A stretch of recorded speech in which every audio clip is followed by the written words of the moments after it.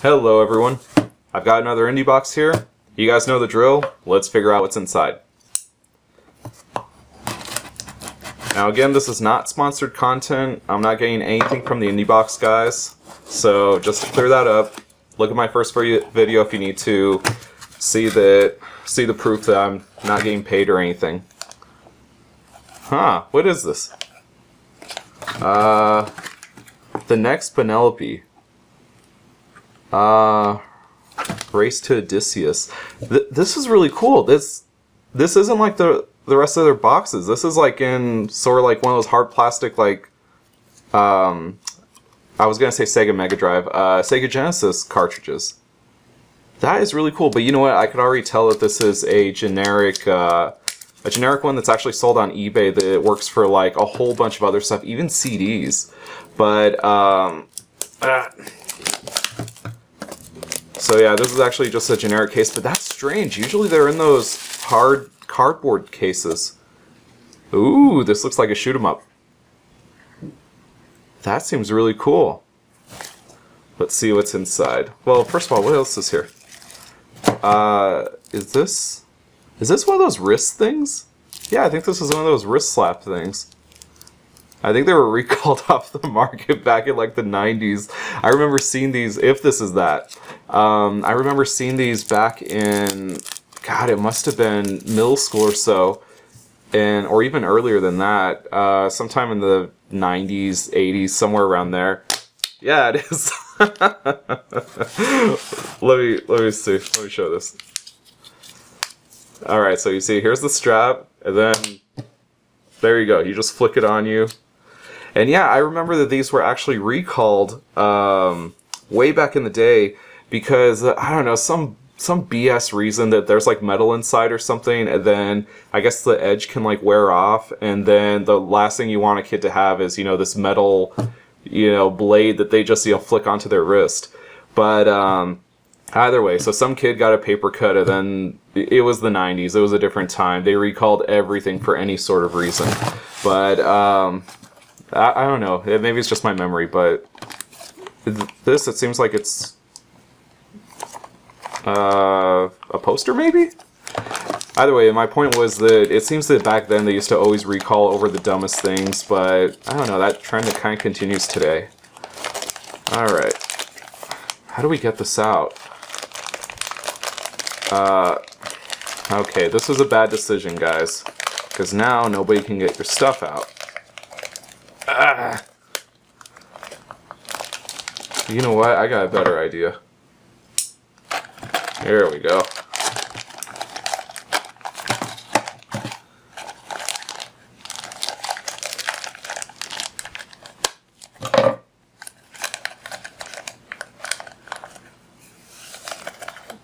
Alright, there we go.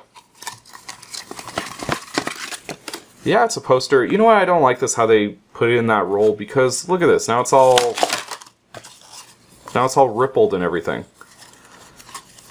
Or ruffled, I don't know. Depends on whether you like chips or not. Um, okay, yeah, it's just a little a little image of the ship. Has a harpoon, plasma gun, black crystal, smash boost, teleport, drop mines, and ooh, you have a female character that you play as, I guess. I guess that's where the next Penelope thing comes into play. Fast-paced action racing game. Okay, I didn't expect it to be racing. I thought it was a shoot 'em up. Uh, da, da, da, okay, let's open this up. Ooh, a lot of stuff in here. Stickers, as always. Alright, there's that. A little emblem type thing that is a sticker. Then an indie box sticker. I like these indie box stickers because each one of them, every box comes with one, but they all have their own little, little sort of thing that they do with it. And then this one, you can see the little ship right here at the end. But they always have something that's very specific to the game that comes with it. Now, original soundtrack, as we always expect on this. That's a nice image right there. I like that. Alright. Indie Box newsletter. Alright, the instruction manual. Alright, that's pretty typical. I wonder if you get weapons in this. Let, us look at the controls. Yeah, you do. Here's shoot, boost, mines. Okay, yeah, they did talk about mines, so... Alright, so you do have weapons in this. That's pretty cool. There's also a hook, so maybe you hook onto other racers or, you know, to the corners, like, you know, those games where you can, you know, fly around a corner like that. I think, what was it, uh, Jet Moto? They were the first ones that really did that. Oh, wow! A cube craft model thing. So that way you can cut this out and then make your own ship. Uh, how involved is this? Uh, you know what? There's no preparations or anything. Like, there's you don't punch it out or anything. You actually have to cut it. It's kind of stuck right there at the bottom. Yeah, they put some glue at the bottom of this one. Okay, that's kind of strange. Yeah, there's that glue right there at the bottom, sort of like what credit cards come with. No Steam code? What? No Steam code? Or Steam key, sorry. Oh, wait, wait, okay, I'm an idiot. Here we go. It was on the plastic. Alright, guys. Whoever gets this code, whoever gets the game, make sure to tell me what you thought about it. Uh, I'm debating whether we should assemble this or not.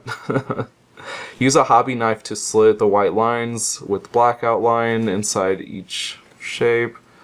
Yeah, this is going to be a lot of work. Actually, all it took was a jump cut. I'm kidding. This took like maybe, geez, like an hour and 15 minutes to make. Uh, I delicately cut everything out and I put it all together and this is the way it looks like.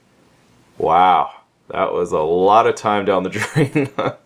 and not a drop of glue was used. I just did it exactly like they told me to. Uh, no corners were cut. And you know what? The worst part though was this back part. These like four corners, they all have to match up. And so that took a lot of time. But otherwise, this looks kind of nice. Really cute. Little fins right here and everything. Oh, geez, that was a lot of time. oh well, I should get something for that. But still, yeah. So I was able to make this little paper craft model right here. Oh well. You know what? Some other thoughts I had about the stuff that's come with the game. I don't know what I'm going to do with this thing. Maybe I was thinking about putting a hole in it and then hanging it from the ceiling or something. But either way, delicate. Try not to break that. Either way, when I was um, when I was making that though, I got to be familiar with the game's soundtrack, and this is a pretty good soundtrack. Um, it's not anything stellar, you know, for a racing game or anything, but they have some really good tunes on here. I was really, I was actually like jamming out when I was cutting this stuff out and building and everything. It helped the time pass by. So I've been through this soundtrack like twice now, and I, I gotta say, it's pretty good. It's pretty good. All right, and then one other thing that I realized is that there's actually, do you see this? There's like a second cover in here. Like there's the actual cover insert that's on here. But then they put in another one because I didn't realize that there's some motion to this. Maybe you guys saw that when I was taking this out. But watch. Ah, you see? As you move it, her hair kind of like flutters in the wind and then there's this like asteroid or something that's passing by. That is pretty cool. That looks nice. And you know what I also noticed? She's missing her arm! What happened? I don't know, there's probably going to be some backstory to that or something. Or, I don't know, maybe she gets into a wreck. Look, she's all beat up and everything, poor thing. But yeah, either way, let's see how the game is. Alright guys, I've been playing the next Penelope, and this is a great, great game. I don't know what genre it would fall in. I think it sort of falls into the adventure racing game genre, if that makes any sense. It has a really cool design to it because there's like an overworld, so you can go visit different areas at any time, so that's why I kind of say that it's an adventure racing game. And of course, as you guys have probably already figured out, it's also a combat racing game. And the combat is very well done. It makes the racing very frantic and really exciting. Especially because you can't use your weapons in the first lap, so during the first lap you're trying to get a feel for the track, and also you're trying to, you know, get ready because your weapons are going to be activated pretty soon. This game even has boss battles. Boss battles in a racing game. Something that I wasn't prepared for, though, is that this game is actually based around Greek mythology. And for a racing game that has these, like, spaceship looking F Zero type racers, Greek mythology is the last thing I would have expected to get in here. The cutscenes look gorgeous. The art design in this game really sells it. And let me tell you about another thing that I'm sold on. I actually get it now. So, what is it that I actually get? I actually get that there is a PC indie gaming scene. For a lot of you out there, you're probably saying, well, duh, you know, of course, there's always been one. But for me, somebody who doesn't really follow PC gaming, that comes as a really big shock to me. Because in recent years, we've kind of had this big indie gaming boom, and I've always believed that those games existed like on tablets. In other words, if you were a big indie game, then you probably exist on, you know, iPad and Android. And I kind of assumed that the games that were successful enough, they get ported onto consoles. But really, I believe that that's where indie games really lived, you know?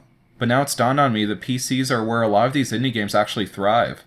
And you know, I think that is an image problem for PC gaming because I was under the impression that PC gaming is where you go so you could go get, you know, first person shooters, strategy games, MOBAs, MMORPGs, and because of that, I'm missing out on a lot of indie games.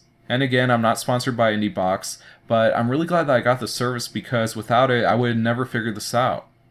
Alright, lastly, I want to mention the soundtrack again. It's actually really, really good. It's not as good as Risk of Rain, but Risk of Rain is a tough act to follow. But overall, I'm very impressed with this one. This one came out really well. I've got to hand it to him. I've only gotten two deliveries so far, but so far they're two for two. I've enjoyed both of them immensely. So who knows how long they'll keep up this winning streak, but I hope it doesn't end.